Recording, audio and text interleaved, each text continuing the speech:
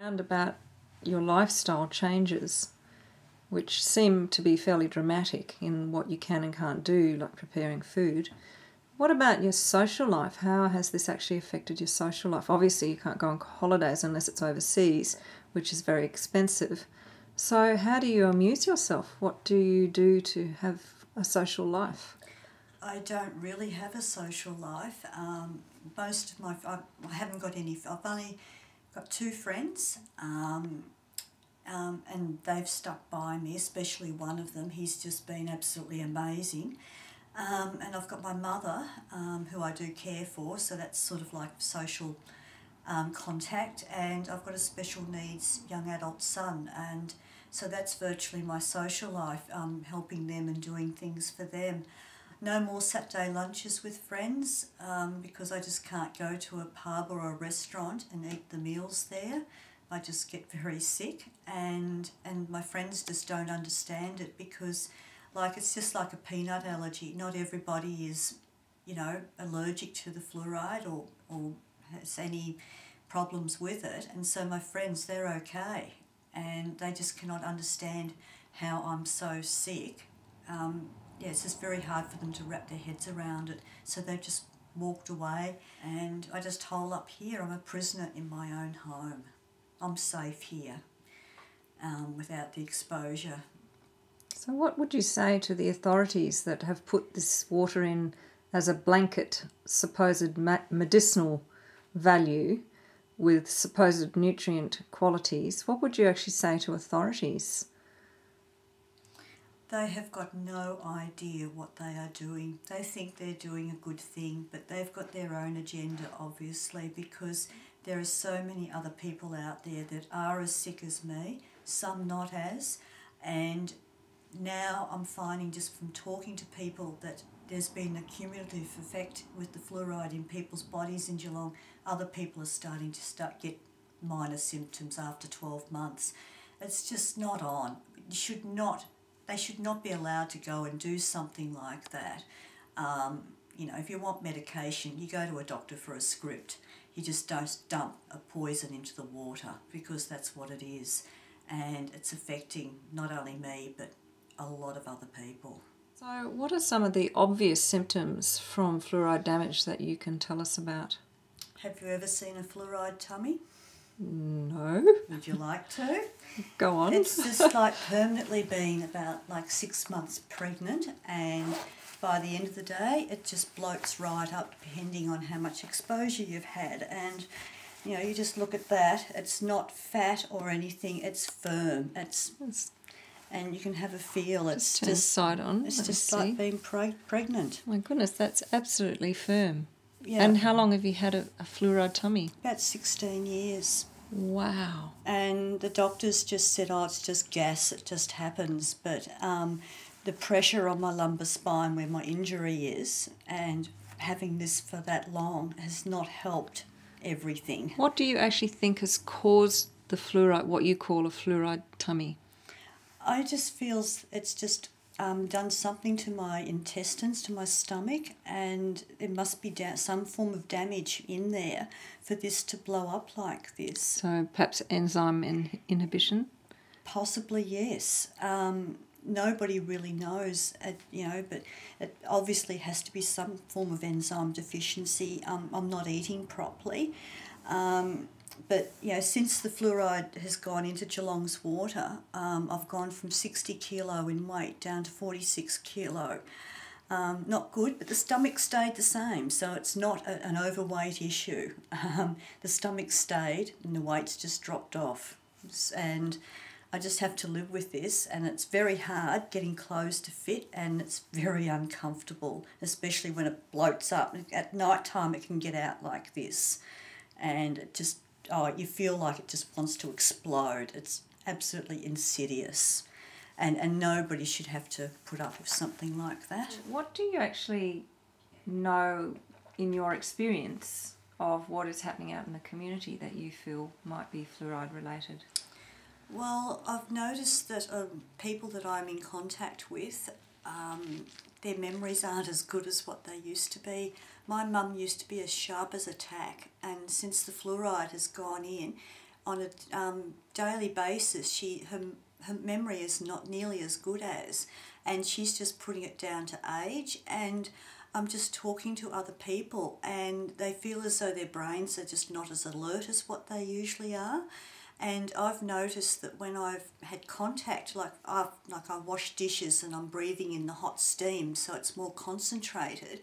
Um, my brain just feels like it's numb for a while. Um, and, and when I've had a shower, um, well, that's a different story. I get sick when I have a shower, but my brain is totally dead. It does not function at all and and I end up in bed for two days after a shower with severe nausea and and vomiting.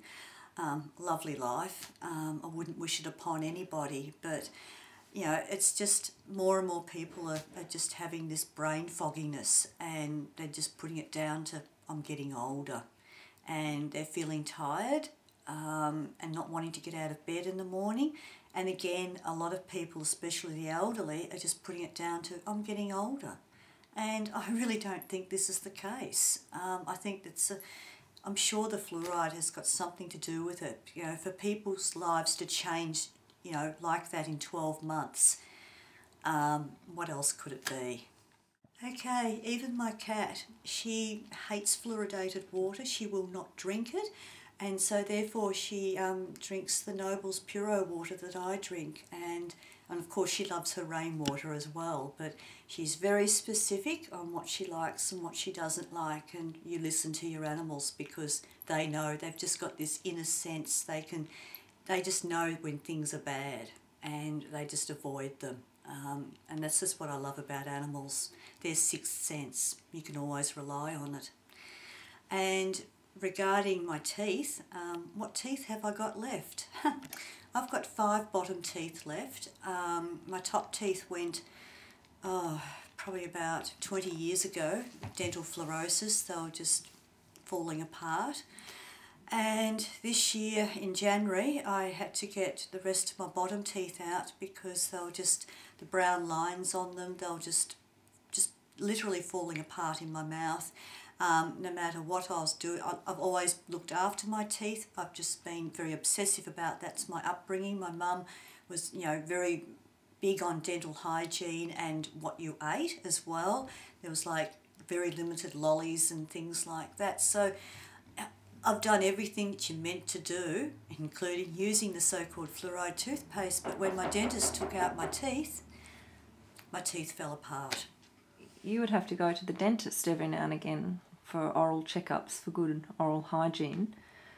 What actually happens for you? Because clearly you have a, um, a, se- a severe allergy to fluoride. What happens when you go to the dentist? Well, I have to take my own water, and the dentist, you know how they have that irrigation water thing that they put in your mouth. Well, he has to get a big syringe and he fills it up with my water and the dental nurse has to use that to irrigate my mouth. Um, because there was one time um, he used his water drill on me and I got ulcers in my mouth and he distills his water but obviously it's not getting out the fluoride um, and yeah he just he's not coping anymore and I've got dental fluorosis on the remaining five teeth that I do have and I don't know how long they'll be in my mouth for but yeah it's just dental visits um, are a nightmare um, because I still have that impact or contact with the fluoride when I do go there because you can't avoid it. You don't know what's in the fillings. I've talked to my dentist about it. Um, are there fluoride free, you know, treatments? And basically, he cannot really tell me. Uh, you say you mentioned that uh, the dentist isn't coping. Could you perhaps expand a little on that?